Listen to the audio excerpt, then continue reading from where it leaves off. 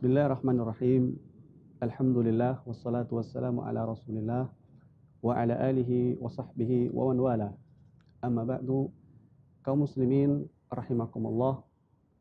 Termasuk nikmat yang sangat agung yang Allah Subhanahu wa taala berikan kepada kita umat Nabi sallallahu alaihi wasallam adalah Al-Qur'an. Allah Subhanahu wa taala turunkan Al-Qur'an ini di bulan yang mulia ini, yaitu bulan Ramadan. Bahkan dia diturunkan di sebuah malam yang penuh dengan kebaikan, penuh dengan keberkahan. Allah Jalla wa Ala mengatakan syahrul Ramadan alladzi unzila fihi al-Qur'an. Bulan Ramadan di mana di dalamnya diturunkan Al-Qur'an. Allah Jalla wa Ala juga berfirman, "Inna anzalnahu fi lailatin mubarakah." Dan kami turunkan Al-Qur'an tersebut di malam yang penuh dengan keberkahan.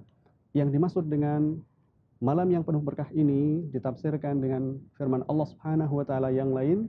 Allah mengatakan inna anzalnahu fi lailati al-qadar. Kami turunkan Al-Qur'an tersebut di malam Al-Qadar. Salah satu bukti bahwa malam ini adalah malam yang penuh dengan keberkahan dikatakan oleh Allah Subhanahu wa taala Lailatul Qadri khairun min alfi syahr. Bahwa malam qadar itu lebih baik daripada seribu bulan. Artinya barang siapa yang dia kemudian melakukan amal ketaatan pada saat itu, ya, itu lebih baik ketimbang dia melakukan amal ketaatan di selain malam-malam atau di selain hari-hari yang tidak ada Lailatul Qadar di dalamnya. Jadi diturunkannya Al-Qur'an atau Al-Qur'an itu adalah merupakan nikmat dari Allah Subhanahu wa taala bahwa dia adalah kitab yang penuh berkah diturunkan di malam yang penuh berkah pula. Dan salah satu di antara berkah-berkahan Al-Quran ini bahwa Allah subhanahu wa ta'ala menjadikannya sebagai jembatan penyeberangan bagi seorang untuk mendapatkan apa yang disebut dengan syafaat.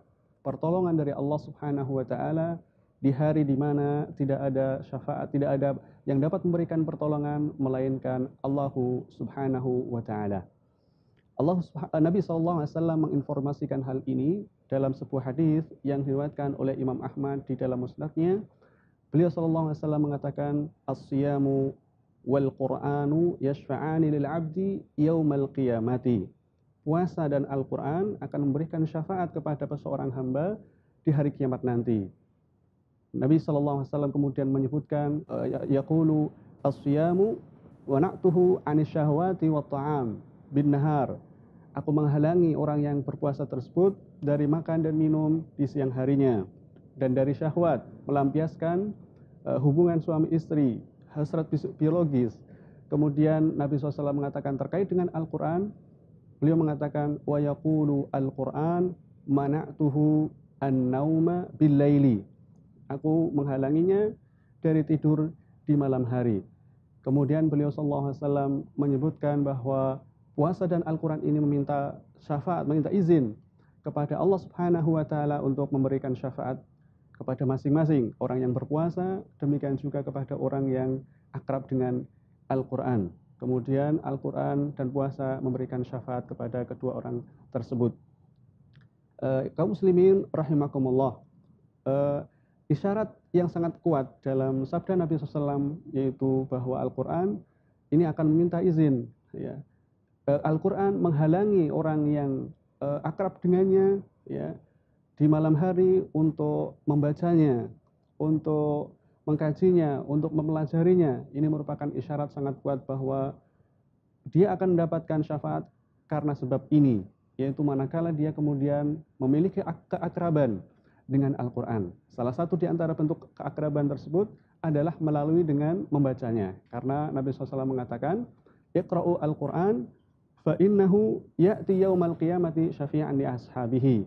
Bacalah oleh kalian Al-Qur'an karena sesungguhnya Al-Qur'an itu akan datang pada hari kiamat memberikan syafaat kepada pembacanya. Maka kunci yang pertama untuk mendapatkan syafaat Al-Qur'an adalah bagaimana seorang mau mempelajari melalui membaca Al-Qur'an tersebut. Kemudian dalam hal e, hal lainnya yang harus diperhatikan juga agar kita sangat berharap untuk mendapatkan syafaat Al-Qur'an ini setelah kita mempelajarinya juga eh, tentu saja mempelajari dengan baik, meliputi membacanya secara tartil, kemudian memahaminya, mentadaburinya, ya, dan lain sebagainya. Kemudian setelah itu adalah kita berusaha untuk mengamalkan kandungannya, mengamalkan kandungannya. Dan kalau kita lihat di dalam Al-Quran ini tentang kandungannya, kita dapati ada yang berupa e, berita misalnya. Ya, Allah mengkabarkan tertentu tentang peristiwa tertentu misalnya. Ya, peristiwa umat-umat sebelumnya misalnya, sebelum kita. Kemudian peristiwa akan terjadinya kehancuran dunia misalnya. Atau peristiwa-peristiwa lain. Maka ketika kita mendapati hal ini, e, kita harus mengamal Al-Quran dengan cara kita membenarkan ya, membenarkan berita yang disampaikan oleh Al-Qur'an tersebut yang tidak lain adalah merupakan berasal dari Allah Subhanahu wa taala, zat yang maha benar.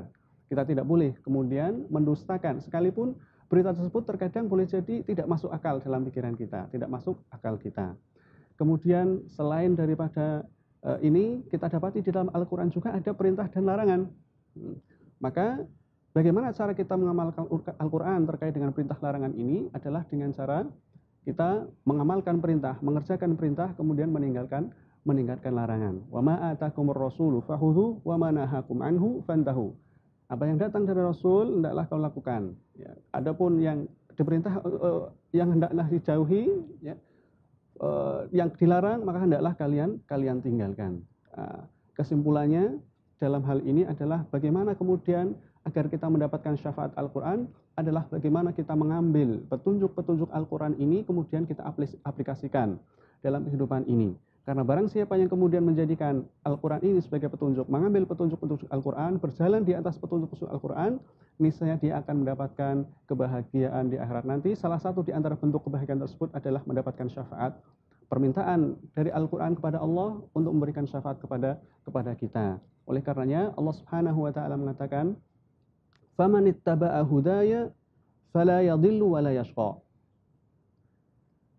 Barang siapa yang kemudian mengikuti petunjukku, ya, petunjuk Al-Quran, fala yadhillu wa la yashqa. Niscaya dia tidak akan sesat di dunia dan juga tidak akan sengsara di akhirat nanti. Seperti itu yang ditafsirkan oleh terjemahan Al-Quran Abdullah ibnu Abbas. Maka mudah-mudahan Allah Subhanahu wa taala memberikan taufik kepada kita untuk bersungguh-sungguh mempelajari Al-Quran, memahami Al-Quran, merenungkan Al-Quran, dan kemudian mengambil petunjuk-petunjuknya untuk kita aplika untuk kita aplikasikan, kita amalkan dalam kehidupan kita sehari-hari. Mudah-mudahan Allah Subhanahu wa taala memberikan taufik kepada kita untuk melakukan hal tersebut.